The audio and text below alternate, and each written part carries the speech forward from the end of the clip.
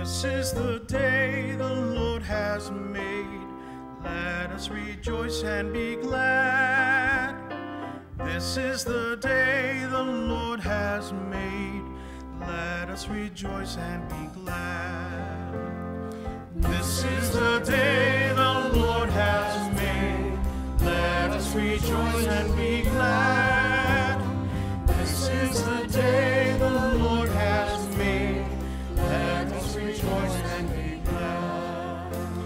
Give praise to the Lord, for he is good. His mercy endures forever. Let the house of Israel say, God's mercy endures forever. This is the day the Lord has made. Let us rejoice and be glad.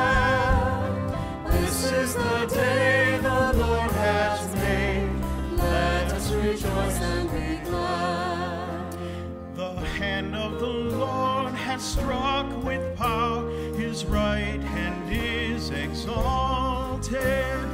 I shall not die, but I shall live and recount the deeds of the Lord. This is the day the Lord has made. Let us rejoice and be glad.